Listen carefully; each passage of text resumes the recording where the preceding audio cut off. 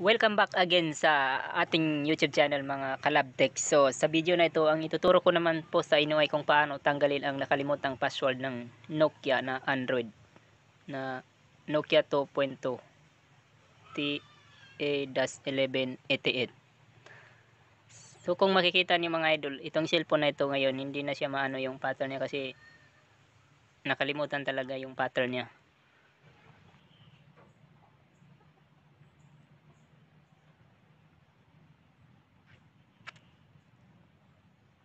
So ito yung kanyang model mga idol. TA-1188. Yan yung kanyang model mga idol. So ang gagawin lang natin mga idol is i-hold natin yung volume down at saka i-power on natin yung cellphone. I-power on natin yung cellphone kasabay ng volume down para makapasok tayo sa fastboot mode. Okay yan. So makikita nyo naglabas na yung fastboot mode sa baba. Fast, mo fastboot mode na siya ngayon mga kalabtech. So after nyan mga idol, punta tayo sa ating mga laptop kung mayroon tayong laptop. And then download natin itong TFM Tool Pro 2.0 mga kalabtech. I-download natin ito kasi ito yung kailangan natin para makapunta tayo sa recovery mode ng cellphone na ito. So ang laki ng file size nitong ida-download natin is nasa 278 megabytes lang siya mga idol. So maliit lang siya. So pwede niyo ito i-download kahit naka-register lang kayo sa GoSorp.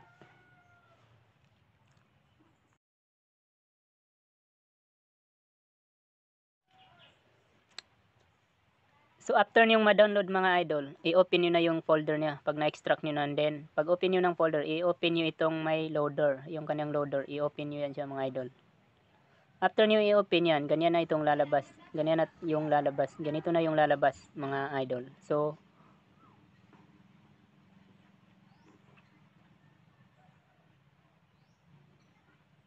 Sundin niyo lang yung step na gagawin ko mga idol. So ang i open nyo lang dito o ang i-click nyo lang dito mga idol is yung ADB in Fastboot. Yan lang yung i-click nyo, yung ADB in Fastboot. Then pag na-click nyo yung ADB in Fastboot, click nyo naman yung Fastboot sa baba, sa may gilid banda.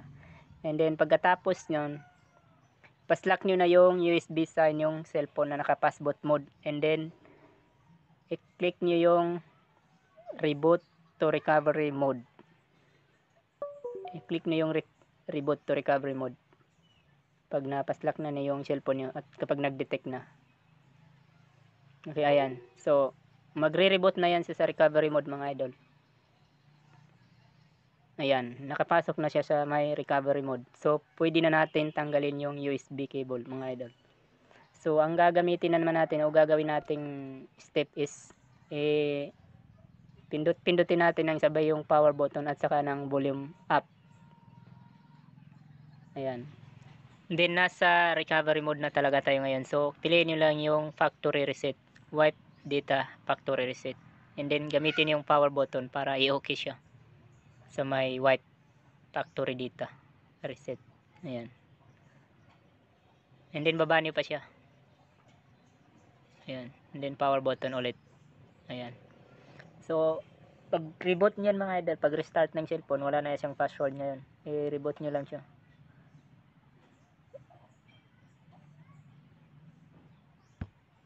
power button to reboot system now ayan so pag reboot niyan mga idol wala nang, wala nang password yan so dito sa android 1 na logo mga idol maghintay kayo dito ng matagal mga 3 to 5 minutes or more kasi matagal siya dito magstay. So kailangan nyo lang siyang hintayin.